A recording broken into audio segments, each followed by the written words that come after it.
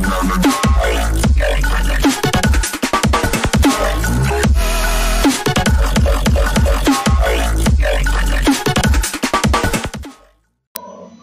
everyone, I am going to explain some questions from chapter 7 miscellaneous and uh, in that today we will start from the question number 5. So we have to differentiate log x upon a to the power x with respect to x.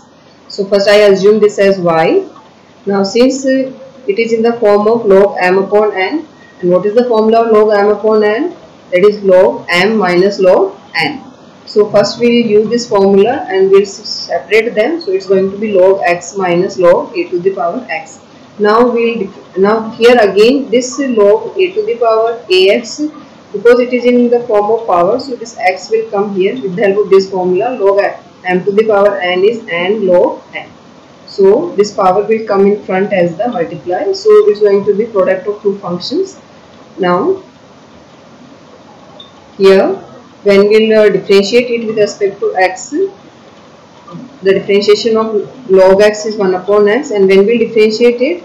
Use u dot v. Or directly since it's a constant so behave, take it as a coefficient and differentiate only x. So you will get log a multiplied by 1 and if you take it as u dot v then it will behave like this. First differentiated differentiate x.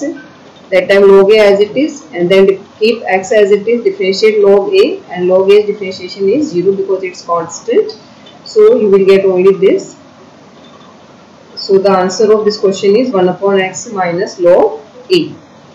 Here what I want to tell you is uh, we can differentiate it by two ways. We can assume log a as the coefficient and x uses differentiate and that time directly you will get this answer because log a is the coefficient and x differentiation is 1 and but if you will think that it is in the form of u dot v that time you will get like this.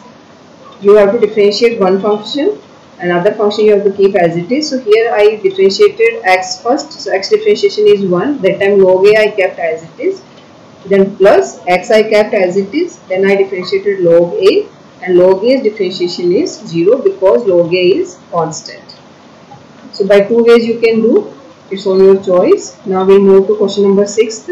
In question number 6 you can see the function is implicit.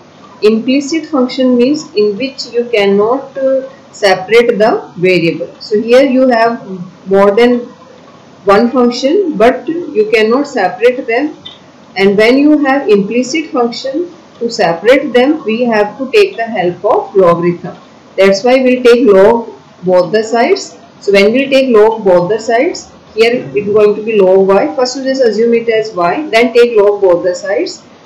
And now here it's going to be x to m to the power n formula. So m to the power n formula is what? n log m. So this power will come in front. So here what is power here? Log x. So this log x will come here and this is going to be as the base.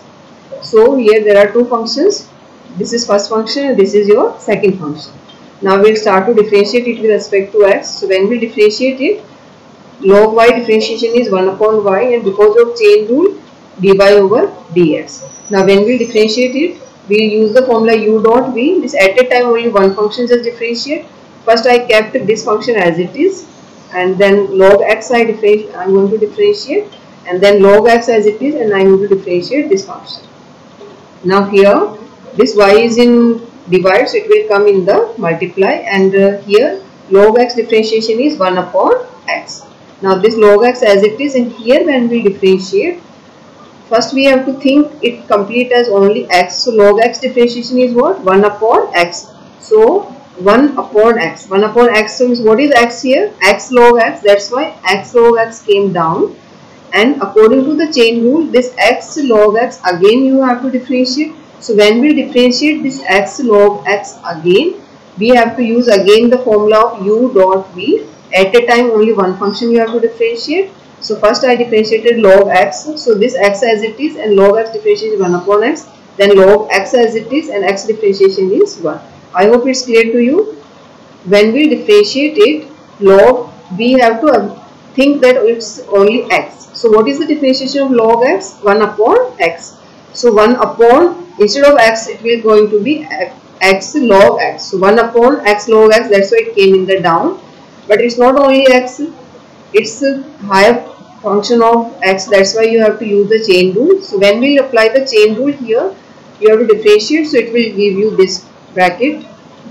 Now here this x when you will simplify it will come down.